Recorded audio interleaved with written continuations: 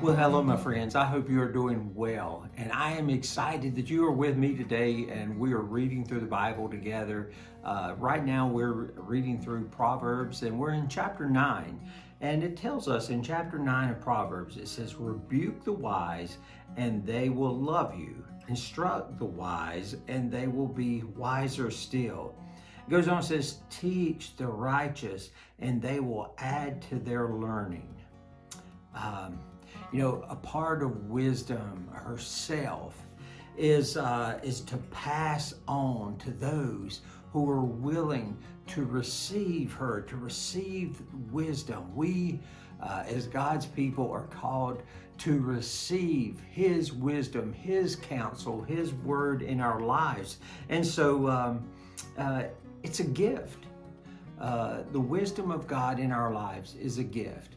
And so, what we want to do is we want to um, we want to be people who are willing to be instructed uh, by uh, good godly wisdom, and we need to be willing to be instructors. And, and that can be as simple as just passing on uh, nuggets of truth, help for one another, encouragement, a timely rebuke in a safe place in a good and loving way is a wonderful gift. It's a wonderful gift to give, and it's a wonderful gift to receive. Now we have to have a good attitude and we have to be, have humility when we receive it as well.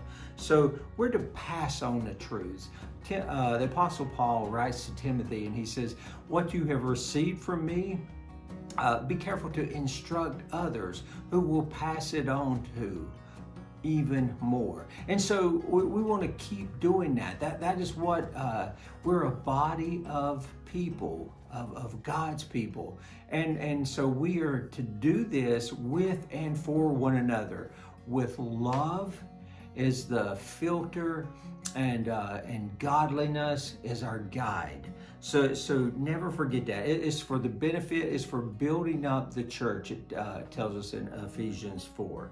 So um, if you're following the Lord Jesus Christ, uh, as it says in uh, Proverbs nine verse ten, it says that the knowledge of the Holy One is understanding, and so more and more as we follow Jesus, we should be people who know wise understanding of life and of the kingdom of God.